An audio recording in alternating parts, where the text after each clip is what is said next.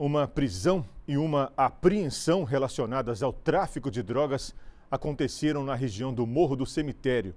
Entre os materiais apreendidos, a polícia recolheu crack, caderno com anotações e quantia em dinheiro. O sargento Micael Silva gravou um vídeo. Nós percebemos que havia algumas luzes, é, bem como ventilador ligado e uma janela entreaberta.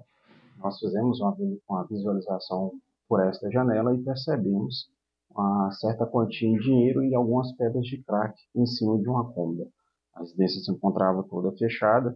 Logo em seguida chegou um suposto usuário de droga batendo na porta desta residência. No entanto, quando ele percebeu a presença dos militares, ele saiu do local. E logo em seguida chegou um casal, ambos com 22 anos de idade, relatando serem os moradores daquela localidade. É, nós convidamos eles para fazer a mesma visualização que nós fizemos pelo lado de fora da residência, sendo prontamente atendidos.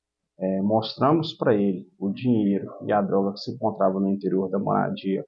É, a jovem é, negou a propriedade, relatando que era a primeira vez que ela comparecia naquele local.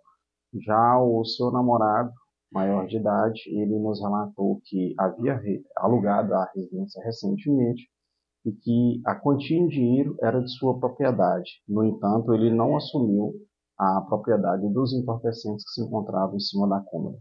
É, diante deste flagrante de tráfico de drogas, nós convidamos este casal a adentrarmos ao interior da moradia para fazer o recolhimento dos entorpecentes e durante buscas naquele local, frente ao flagrante de tráfico de drogas, nós conseguimos localizar uma pedra bruta grande de crack que se encontrava dentro de uma bolsa no interior deste mesmo quarto, sendo também localizado uma sacola com vários sacos plásticos, os quais são comumente utilizados para a dolagem desse tipo de substância entorpecente.